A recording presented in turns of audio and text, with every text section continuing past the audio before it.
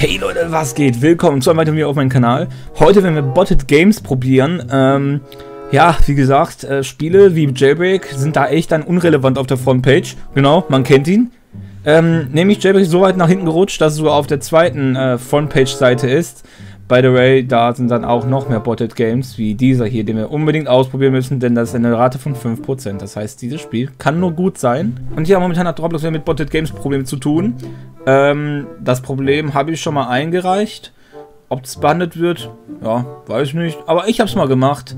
Und wir werden jetzt Botted Games ausprobieren, ob es wirklich das, was sie gebottet haben, wirklich gut ist. Und ich würde sagen, wir gehen sofort in den ersten, nämlich den Bank Tycoon, denn der sieht gar nicht so scheiße aus. Ich weiß ja nicht, ob man noch ähm, Likes botten kann, aber ich würde sagen, los geht's. So, sind wir jetzt auf dem Bank Tycoon. Ähm, ja. Was soll man kurz sagen? Das sieht ansatzweise gut aus. Ich schätze mal, es wird nicht so aussehen wie im Spiel. Und wenn wir kurz in den Store gucken, ja, da wird echt Knete gemacht. Ähm, und wenn wir jetzt mal die Spielerliste uns angucken, ja, nur Bots. Man kennt ihn. Und deswegen würde ich sagen, steppen wir sofort ins Game. Angekommen wäre ich noch mit ähm, irgendwelcher, äh, ja, Premium-Kacke, also sofort, ja, cool. Ich will, ich will sofort auch einen Fidget Spinner kaufen. Guck mal, wie mir so, sowieso alles hier angedreht wird. Okay, also. Ähm, ich sehe keine Bäume. Ich sehe Crates rumliegen. Kann man die roten Crates einsammeln? Okay. Ich krieg ein Gear, das nicht funktioniert. Ein echt tolles Spiel. Also wenn das... Was das online da sein soll? Was ist das? Ah, hier wird noch Geld verlangt.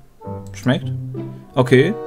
Was ist denn der Money-Helikopter? Also ich werde das Spiel nicht spielen, ich werde es mir nur grob angucken, denn jeder weiß, dass... Ja, ne? Was ist das? Hallo. Free Model, by the way, noch. Und 500.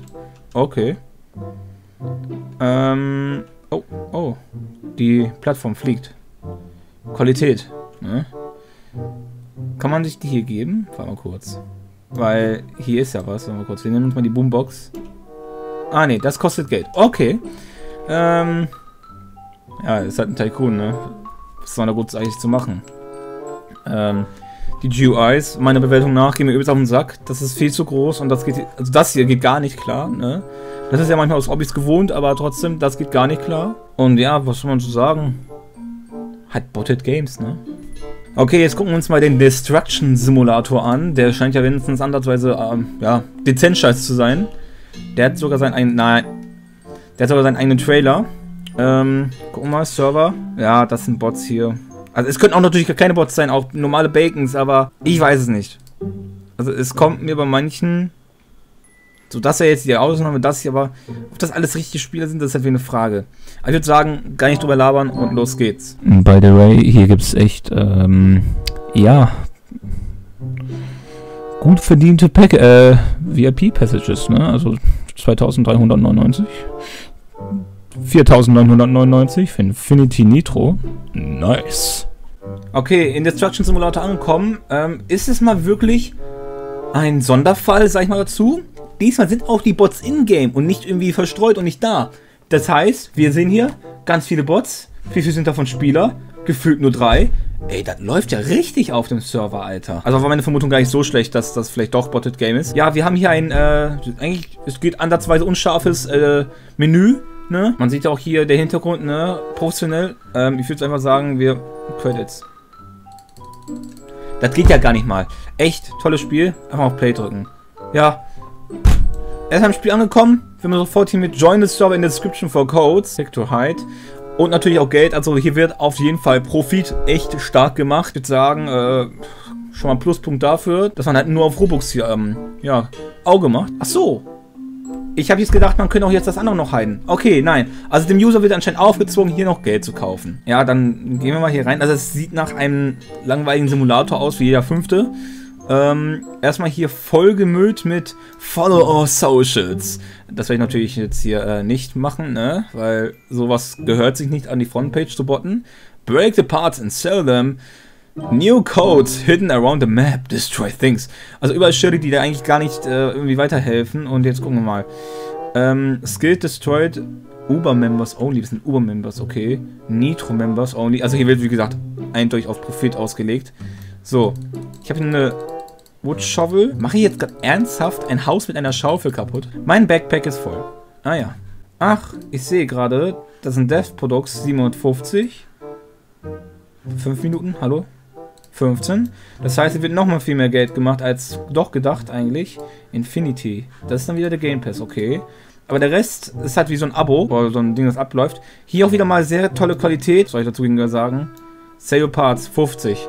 Ich glaube, das Spiel kann ich nicht weiterspielen, sonst weil das Spiel mich einfach aufregt. Okay, jetzt spielen wir das Spiel Super Villain Tycoon. Das Thumbnail sieht gar nicht aus, als wäre es Clickbait, äh, was heißt Clickbait, äh, von so einem YouTube, äh, hier, ne? Hier, Qualität, dies, das. Wir gucken, was noch wir im Store. VIP 100. Server. Scheinen die gleichen zu sein. Also rein geht's.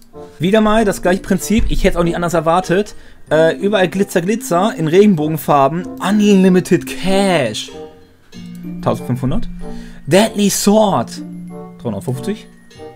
Oh mein Gott. Ein iPhone X, das muss ich unbedingt haben. 65 Robux für ein iPhone X. Oh mein Gott. Was ist ein VIP? Oh, also das sieht echt sehr qualitativ aus. Oh, warte mal. 100. Aber 100? Okay, ich bleib sofort wieder stecken. Eine sehr gute Taktik. Aber ich glaube, das kann ich bestimmt austricksen, wenn das... Free Motor Heli. Wenn das bestimmt... Warte mal, hold on. Das sieht so aus wie eine Game-Vorlage für Tycoons. Und genau das mit dem anderen Spiel. Ah ja. So, wir haben jetzt hier einen grünen Block. Das kann doch bestimmt nur eine Crate sein, oder? Oh. Diesmal eine Crate ohne Cash zu bezahlen. Da ist die Frage, was ist denn diese gelbe da? Gehen wir mal dahin. Da wir mal diese gelbe Crate an. Das kann ja nur, äh, ja, qualitativ sein. Oh mein Gott, sie glitzert schon. Okay, das Spiel hat diesmal ein bisschen einen kleinen Vorteil. Äh, erstens, es ist nicht wie beim ersten Spiel äh, vollgemüllt mit äh, Kauf dies, Kauf das. Ja, natürlich ist es auch hier, ne? Aber mal gucken. Ich glaube, die Preise sind gleich. Da wird sich nichts dran ändern. Ja, also die Preise sind gleich. Äh, außer, dass wir noch ein paar andere Dinge haben, wie ein Jetpack. Und das kostet genauso viel wie anderes Tram. Also hier wird eindeutig nur auf Profit ausgesehen und nicht auf irgendwie wirklich Quality, was man eigentlich von Roblox Games erwartet. By the way, ich muss sagen, der Super Villain Tycoon, der hat mich irgendwie ansatzweise an nichts erinnert, das mit irgendwie Superheroes zu tun hatte. Äh, also schätze ich mal nur reiner Clickbait. Ähm, ja, wenn wir jetzt mal hier gucken, hier ist zum Beispiel Jailbreak. Hier ist Arsenal. Hier ist ein Spiel, das ich nie gespielt habe. Aber, guess what? Wo ist das Spiel? Ah, hier, genau. Das mit den 5%. Resort Tycoon. Guck mal. Welcome to Resort Tycoon. Feel free to new resort. Enjoy the game. Don't forget to thumbs up. Sieht man. Favorite in the game like. Join the group for more updates and special bonuses. Das Spiel wurde am 8.7.2019 kreiert. Also gestern erst sogar. Dann wurde es heute geupdatet. Und wenn wir mal reingucken in die Server, so. Alles wieder gebottete Spieler. In den meisten Fällen. Der Store sagt auch wieder hier sehr viel. Guck mal, das ist sogar von Welcome to the Neighborhood auf Roblox ja sogar das Icon geklaut. Also hier wird echt, ähm, ja, viel Mühe reingegeben. So. Okay. Check out the awesome benefits. Justin, Dev, Tycoon, bla bla bla.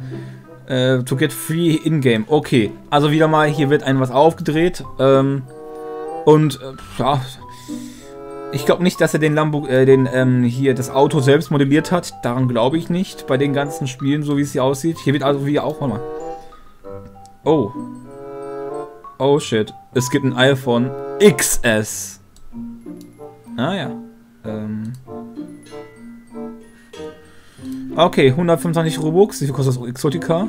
This item has not changed for your gun. We have not changed. Okay. Gleiches Prinzip, man hängt wieder fest und wird getötet. Ähm, dann die tollen äh, Items wieder. Schmeckt. Funktioniert auch. Wie viel kostet 15 Heal? Okay, 99 Euro. Also, ihr seht es eindeutig, dass... Bitte. Spendet in so welchen Games keine Robux. Okay? Das ist nicht gut. Wie kann man bitte 280 Robux in dieses Spiel investieren? Also ich weiß es nicht. Ich will jetzt keinen kritisieren, der das gemacht hat, aber warum? Oh, VIP-Heads. Ah, geht auch nicht.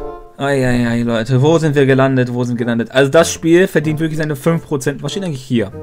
How to play. Find a tycoon and buy droppers to collect cash. With the cash, use it, build your amazing mansion. Das hört sich nach dem Spiel an. Das ist das, äh, ja, man sieht hier, hier werden Burger verkauft. Ah, und da wird auch nochmal donated. Also da, man will hier echt äh, versuchen, schon jedes einzelne rauszubekommen. Ding ist, bestes Spiel. Funktioniert ja perfekt hier. Am meisten andere Texturen drin mit Meshes. Schmeckt. Ähm, was gibt's noch? Wenn wir reingucken. Ja, ob die Bu jetzt selbst gebaut ist, das kann ich jetzt nicht mit dir nachvollziehen. Ähm, aber ich kann nur sagen, der Rest ist mir gefühlt eine Vorlage. Deswegen ist das Spiel, ja, man sieht es auch hier, ja, seine 5% schon wert. Diving Simulator, new. Also bei der Qualität des Bildes äh, glaube ich schon, dass uns hier mehr erwarten könnte, eventuell. Ja, hier wird auch nicht. Och, Junge, Alter. Oh, nee. Ach, warum? 9450 für Free Upgrades.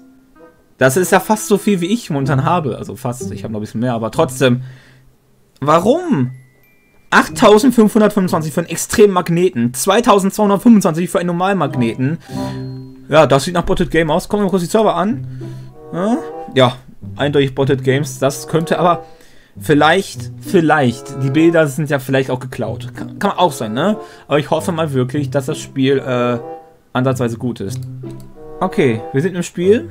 Ähm, ich werde sofort natürlich, wie es sich gehört, sofort in Coinboost, XP-Boost und sonstiges wieder hingeschickt. Leaderboard und, äh, ja, Twitter jetzt zeige ich es mal nicht. Ähm, gucken wir mal, was haben wir denn hier so Tolles? Ja, einfach gebastelt, jetzt nicht viel Aufwand. Die Bäume, man kennt sie, Free Models, aber ich habe nichts gegen Leute, die Free Models nutzen. Ähm, was ich gegen habe, dass man halt sein Game versucht, nicht Frontpage zu botten. Das finde ich, äh, ist schon dezent asozial. Richtiger Unehrenmann. Ähm, ach, noch mehr. Upgrades. Ja, guck ich nicht rein. Was ist das hier? Ein Shop anscheinend oder sowas? Okay, man verkauft da seine Sachen. Ich habe gerade was gemacht. Mal gucken. Dann gucken wir mal, was passiert, wenn wir jetzt da runtergehen. Also, Diving Simulator, das gab es ja schon mal sowas in der Art. Äh, war auch beim Event gesponsert. Gucken mal, also wir müssen hier dann anscheinend Dinge collecten. Also eigentlich wie jeder Simulator, du äh, collectest Sachen, nur dass wir diesmal schwimmen und äh, ja, Sachen collecten, mehr aber nicht. Achso, das waren die Game Passes, okay. Ähm, ja, scheint, das ist nämlich ein Upgrade Zone Price, okay. Ja, wie gesagt, das scheint mir jetzt nicht, äh, also ist, ist Vincents qualitativer als das alte Spiel? Dagegen kann ich nicht so sagen, ne? Aber trotzdem, dass man dann vor... Meine Kamera hängt. Ey, das ist ein echt geiles Spiel, meine Kamera hängt. Guck mal, ich kann so weit rauszoomen, aber nicht mehr reinzoomen. Ja, also ob das Spiel jetzt selbst gebaut ist, kann ich wie gesagt nicht beurteilen, ob es wieder geklaut ist, weiß ich nicht. Ne? Aber ähm, was ich sagen kann, von den Spielen, die ich jetzt getestet habe, war das eins der besten äh, aussehenden, aber es ist wieder ein langweiliger Simulator, also nichts Großartiges. Das war's mit diesem Simulator. Ist schon traurig, dass äh, so welche Spiele an die Frontpage kommen. Ähm, da halt die echte, die echte äh, Schätzung der Wert oder however ähm, halt ähm, nicht mehr gef gefördert werden kann. So, ne? Stell dir vor, ich habe ein echt heftiges Spiel und das wird einfach nicht mehr gezeigt, weil durch ja, Frontpage-Botters, sagen wir zu. Das Ding ist, man sieht ja auch eindeutig, dass äh, komischerweise Dope Me hinter Mad City ist, äh, was eigentlich keinen Sinn macht. Also ich schätze mal, die Bots haben schon ordentlich äh, ja, das System auseinandergenommen.